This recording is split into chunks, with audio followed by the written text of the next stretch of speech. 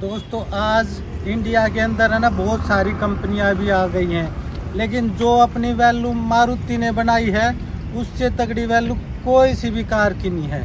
मैं आपका होस्ट रविंदर माथुर। आज मैं आपको मारुति ब्रिजा के बारे में, जो कि पेट्रोल में लॉन्च हुई थी, उसका रिव्यू देता हूँ। जो ये जो एक ब्रिजा नाम की गाड़ी लॉन्च की है, वो बहुत ही बेहतरीन है। आज मैं आपको उसकी कमियाँ जो खूबियाँ हैं गाड़ी की वो सारी आपको जो गाड़ी के मालिक हैं जिन्होंने यूज़ करते हुए दो तीन साल हो गए हैं उसके बारे में उनका क्या रिव्यू है उसके बारे में बताऊँगा।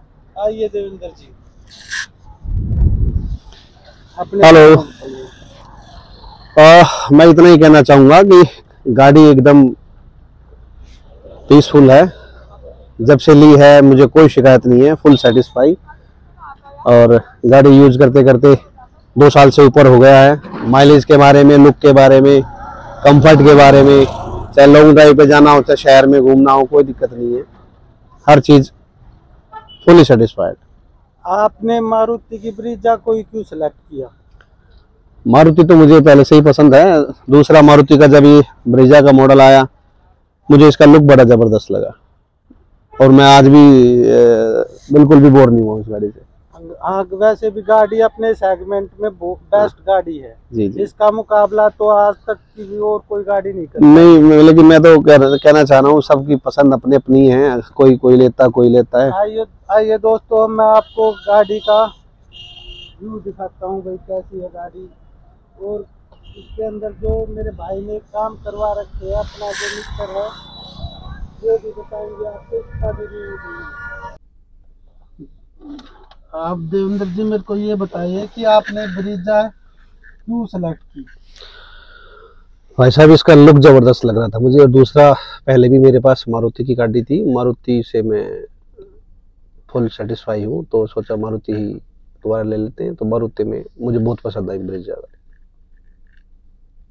ब्रिजा का बेस वेरिएंट लेने का क्या कारण था आपका? सबसे पहले पैसे बचाने दूसरा कम पैसों में ही मेरे को सारी सहूलियत मिल रही है कोई चीज़ की कमी नहीं है पावर विंडो है हर चीज़ मिल रही है जो भी मेरे को चाहिए थी एसी है हर चीज़ मिल रही थी तो क्या ज़रूरत है? एक्स्ट्रा पैसे तो आप गाड़ी की टेस्ट ड्राइव और ले लेते हैं। बिल्कुल सर मैं मैंने यूँ सुना कि भाई कागजों में इसका 1500 सीसी का इंजन दे रखा है पेट्रोल में लेकिन चलाते वक्त यूँ बताते कि भाई अंडर पावर है गाड़ी। भाई साहब जो भी अगर ऐसा बोलता है उसको मेरे सामने लेके आए। मैं पावर दिखाता हूँ क्योंकि मैं तीन साल के लगभग स्टार्ट हो चुके हैं 2020 में ली थी। मुझे बिल्कुल भी अंडर पावर नहीं लगती बल्कि हाई पावर ही लगती है मुझे तो। जैसे आप ड्राइव करते हो तो आपको कितने की माइलेज दे देती है माइलेज आप इसकी एवरेज अगर मान के चलो तो पंद्रह के आसपास मान के चलो।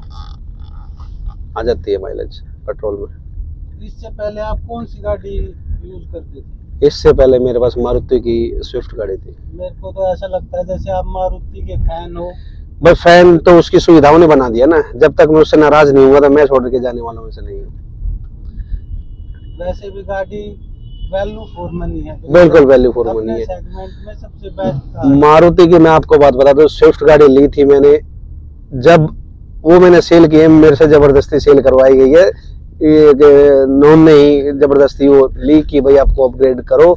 तो उसकी जो रिसेल वैल्यू गई वो भी बिल्कुल दिल को खुश करने वाली गई। और ये जो मैं लेके आया ये लेने में इसकी भी भाई वैल्यू बिल्कुल जायज़ थी। और अब जो रेगुलर यूज़ में जो मेरा खर्चा आ रहा है वो भी बिल्कुल एक बार मेरी पॉकेट को नॉर्मल तरीके से अलाउ कर रहा है। कोई ऐसी नाजायज खर्चा नहीं है कहने का जो मारुति का सर्विस सेंटर है उसका आप क्या रिव्यू देना चाहोगे कि भाई कितनी कॉस्ट पड़ती है ज़्यादा भाई मैं अपनी बताऊँ तो मारुति सर्विस सेंटर में मैंने स्टार्टिंग की एक दो सर्विस करा के अब मैं बाहर ही कराता हूँ। क्योंकि वहाँ पे टाइम थोड़ा ज़्यादा कंज्यूम हो जाता है वो टाइम होता नहीं है। दूसरा इतनी डीपली रियली नॉलेज में वहाँ पे खड़ा होकर अपनी सर्विस करवाऊँ वो मुझे नॉलेज नहीं थी। तो मगर वो कई बार अननेसेसरी भी सामान बोल देते सलाह दे देते हैं कि भाई ये करो वो करो बिल बढ़िया निकाल देते हैं। दूसरा ब्लैक कलर का यूज़ करके बिल्कुल व्हील कैप को भी बहुत अच्छा डिज़ाइन और बताइए देवेंद्र जी। हेलो दोस्तों कैसे हैं आप लोग?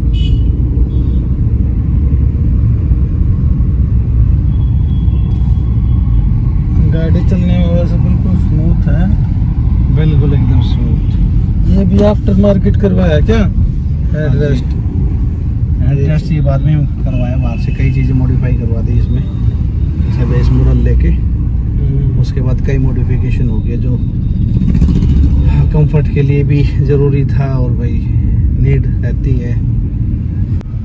स्टीरियो स्क्रीन का ये बाद में ही चेंज कराया। उन्होंने कंपनी की तरफ़ से तो विदाउट स्क्रीन आया था नॉर्मल स्टीरियो जो होता है उसमें एफएम वगैरह होता है। बट क्योंकि इसके फ़ायदे भी हैं रिवर्स कैमरा ऑन हो जाता है बाकी अगर खाली टाइम में कहीं किसी का वेट कर रहे हैं या टाइम पास करना होता तो इसमें कुछ यूज़ होता है। मूवी वगैरह देखना है या गाने देखने हैं वीडियो में। जैसे एल में ये तो नहीं आता शायद। हाँ जी ये भी बात ये बाद में करवाया। ये ये फैसिलिटी बढ़ गई यहाँ पे भी आप अपना स्टॉक रख सकते हैं एक्स्ट्रा स्पेस हो गया। बिल्कुल। बहुत अच्छा लग रहा है ये तो और सबसे एक ये चीज़ और देखिए गियर लीवर का ये भी हमने चेंज किया हुआ है। ये भी? जी इसमें जैसे ये क्रोम दिख रहा है हम्म, उसमें बिल्कुल ब्लैक था नॉर्मल दिख रहा था।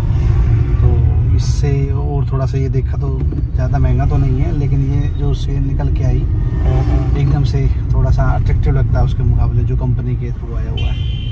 बिल्कुल दूसरा ये देखिए ये ये क्रोम के हैंडल चेंज करवाए हैं अपनी तरफ़ से इस पे ये पेंट करवाया है इसका लुक चेंज होगा ये भी पूरा ब्लैक था। ये भी ब्लैक थे ये चेंज करा दिए। तो ये है जो जो नॉर्मल चीज़ अपने गाड़ी की उस पर भी कुछ फ़र्क नहीं पड़े। और अपने भी थोड़ी सी शो के साथ साथ छोटी छोटी जो ज़रूरतें हैं वो भी पूरी होती रही। ये भी आती है ये भी बाद में ये तो कंपनी की तरफ़ कंपनी की तरफ़ से ये ये चेंज करवाया। हाँ, ये था इसमें मैच मिल गया देखो ये कंपनी की हाँ। तरफ़ ऑलरेडी था।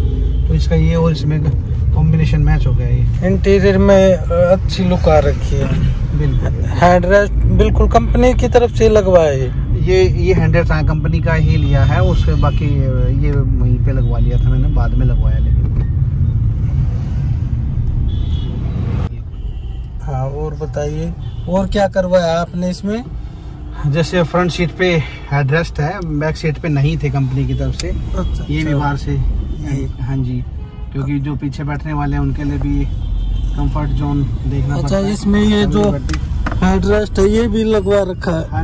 रेस्ट ये भी काफ़ी अच्छा लग रहा है देखिए। जो भाई मान लो पीछे बैठते हैं तो उनके लिए हेड हेड रेस्ट के साथ साथ बीच में हैंड रेस्ट भी है साथ में वहाँ पे अगर बैठ के कुछ खाते पीते हैं तो उनके लिए ग्लास वगैरह रखने की जगह हो गई यही अपनी छोटी छोटी फैसिलिटी इकट्ठी कर ली। तो मुझे तो अब ये अपने यूँ समझ लो, ली तो बेस मॉडल थी यही यही मुझे टॉप मॉडल लगती है। क्योंकि उसमें जो जो चीज़ रिक्वायर्ड थी टॉप मॉडल के लिए, वो सारी चीज़ आ गई है। एक एक दो दो करके।